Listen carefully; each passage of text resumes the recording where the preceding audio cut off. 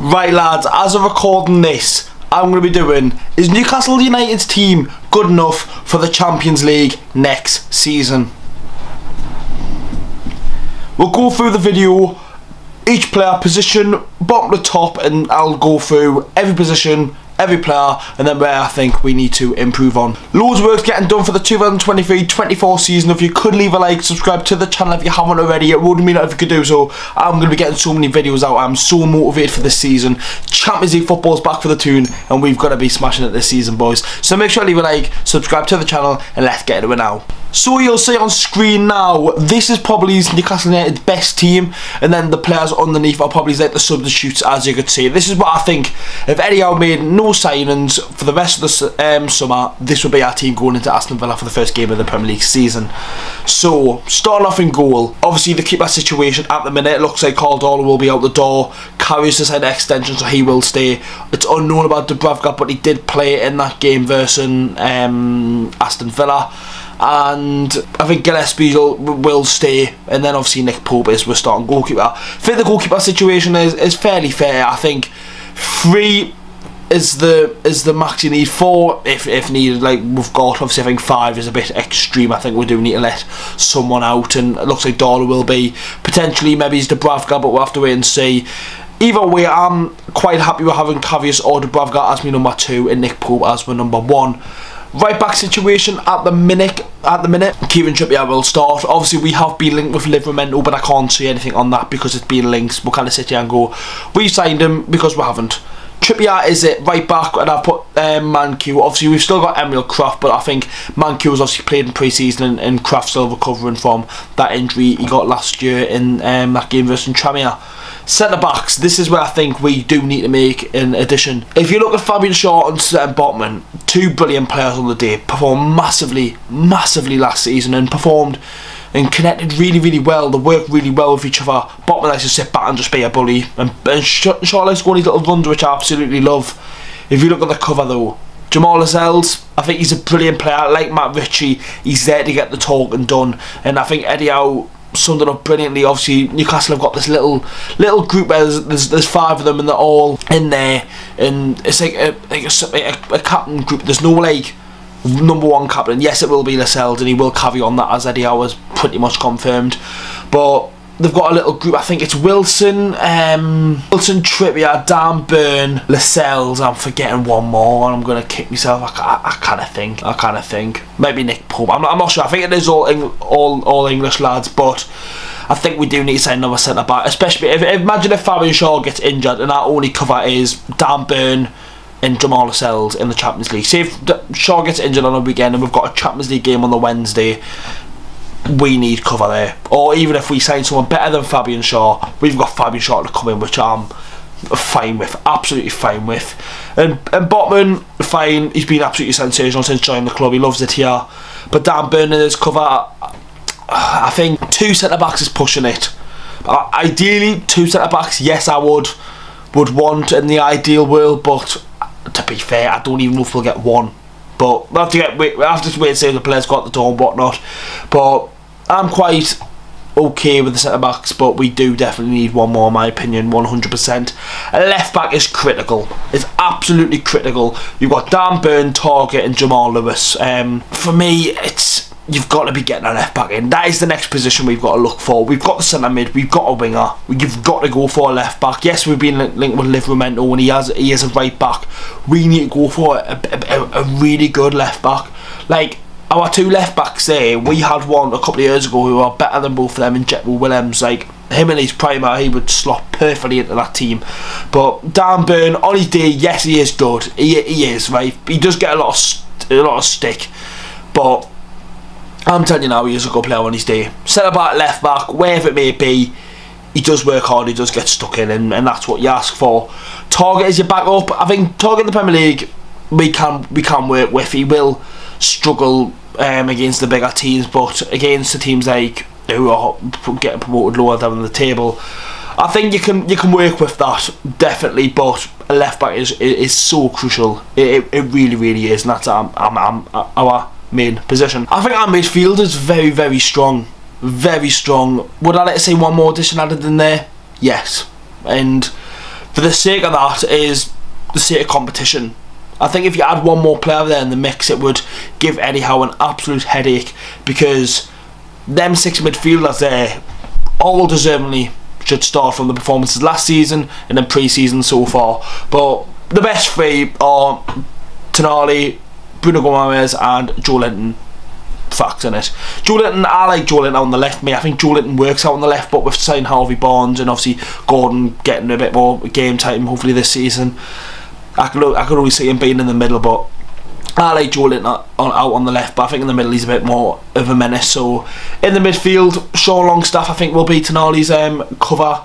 You could say um, I think he's had a, he had a re really really good season last season. Someone that doesn't really get spoken about enough by Newcastle fans, but I think Elliot Anderson will stay at the club this season rather than going out on loan. Um, I think he'll stay at the club and develop really really well. I don't think he's quite there yet for a starter, but in pre-season he has been brilliant brilliant he has um, for Isak's goal he was brilliant. His goal himself against Aston Villa he was really really good.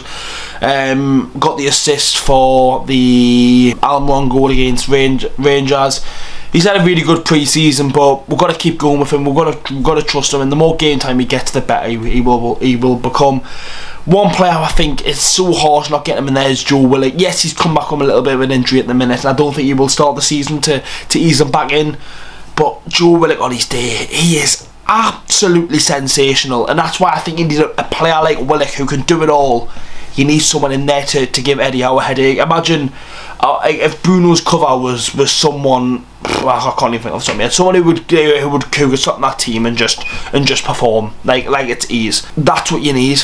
That I think that's what you need. So from from that position. So ideally a centre back, 100% left back, and I, I think I'll go then of ranked what of, of what I think we need most and least. But I think a centre midfielder could be a really good headache for Newcastle United. And now the forwards. We'll start on the left side, a bit more positive. Um, what Newcastle fans could say: Harvey Barnes and Anthony Gordon, two very hard-working wingers who have got pace, score goals, they're, they're going to want it this season. Obviously, Harvey Barnes got relegated with Leicester, but got 13 goals for them, and it, it's a bit like. Well, how can you sign a relegated player for that much money? Look at Gini Wijnaldum. He went to Liverpool after getting relegated with Newcastle and stole the show. He really didn't, and whatnot. I think Harvey Barnes will do really well at Newcastle. I think it's a club that's suited for him. I think Eddie Howe I think he suits Eddie Howe's system with the with the hard working that we do and and, and getting stuck in. That's what Harvey Bond brings you, and especially Anthony Gordon, under 21 European player of the tournament, absolutely buzzing for him. Um, at the start, a lot of fans like myself calling him shit, saying he wasn't good enough and whatnot. I think this will be a big season for him. He's still very young. We forget that, and we did buy him in for was it 40 odd million, but you've got a player like that who who can he will give you every every bit. And I think having a pre-season's massive for him as well. Obviously signing January on deadline day he, he can't really do much. When he's coming in with a pre-season behind his back he's gotten know the lads a bit more he's been on holiday he's had a bit of a rest he will want this. He will absolutely want this especially winning that Euros as well. Not saying he's got a massive name to himself getting that under 21 um, player of the tournament, but we've seen over the years players like Juan Mata won it, and, and look at the career he had. Gordon can do that. He's got the ability to it to, to do it, and, and hopefully he has a good season. On the right hand side, I think this is where we, we still needed someone. Diaby would have been perfect, but he has signed for Aston Villa. Jacob Murphy and Almiron. Jacob Murphy's a good player on his day Eh, and we love him to bits because he's funny as out and he does try his best but will he do it in the Champions League next season? I'm not saying he can't or won't but looking at the bigger picture when you've got like Vinicius Jr and and and so and Neymar and the list goes on. Jacob Murphy it's like he's had a lot of championship loan spells and he did have a good season at Newcastle last season don't get us wrong and when Jacob Murphy played Newcastle won games I'm not saying anything like that I, I think he's a good squad player, 100%. Don't sell him, but I think we need someone there. And Almiron, very inconsistent. He does get a lot of stick from the fans still on Twitter. I, see it all the time. People going, I hope I not see 24 um, and the starting lineup and whatnot. Um, I don't think Almiron should be starting for Newcastle United next season, so I think a right winger is is needed. I think so, but we'll have to wait and see what happens. And now, striker. We've only got two strikers at the club at the minute. Um, obviously, we let Chris Wood go to Nottingham Forest. Isak and Callum Wilson, two very good strikers. Callum Wilson, 18 goals last season. Isak got, I think it was 10. Really, really good seasons for them both, and uh, obviously both scored already in pre-season. Um, do we need someone else there? We know Callum Wilson can, can get an injury in him, and, and Isak had that big injury. Gordon played up front for a bit in the uh, in the under 21 tournament. Could we see him go up there? I don't see why not, but um, it's a, it's a, it's a funny one. It, I think getting a strike, I mean, would like I said, the midfield situation, it'd give Eddie a headache. Having that headache as a manager is is, is, is a good thing, obviously, but you don't want to upset players. Callum Wilson was quite happily sitting on the bench when Isak was, was doing bits because we were winning football matches. It's as simple as that. If you have three top class strikers, knowing that Eddie Howe plays a 4 3 3, it, it, it's extremely hard to keep them all happy with the game time. And it was good that Callum Wilson came in during the week. Um, it was against Everton and West Ham and, and got two goals against them. Both for four goals in two games. When he started in that period, it would be a headache, but I think if we could got a striker, it would be a very, very good. But yeah, but you never know. So then, from top to bottom, that is our team in the minute. From what I think we need is a left back. That is our next priority for Newcastle United. A left back. Next, I think is a right winger. Somebody who can play on that right hand side. I think we do need a right winger in that team. And I think it is centre back. I think you need someone there to cover and probably someone who can who can rotate with Schär a lot and, and whatnot. I think Dan Burn and Lascelles as backups for the Champions League and whatnot for the level we're going to. You've got to improve on that. Then I think a mid, then a mid, mm, no, then a, then a striker and then a midfielder. If we can pick up them five positions before the season starts, even before the transfer window ends, I'll be a very very happy man. You kind of you kind of sit here. If we make seven signings, you cannot sit there and go shit transfer a window because people have said that so far for just signing Tonali, and obviously we've just signed Harvey Harvey Bond, and I've not seen many comments like that. I'm I'm quite pleased with the squad we've got at the minute. Yes, definitely we need some additions. That squad there is with no injuries when you when you think of it. That squad, yes, it's good, but that's with no injuries. We need to be getting a couple more players throughout the door, and hopefully we can do that. That's the end of the video, boys. Make sure to leave a like, subscribe to the channel if you haven't already. It would mean a lot if you could do so. Let me know your thoughts in the comment section down below. Who would you sign? And I'll see you all in the next one.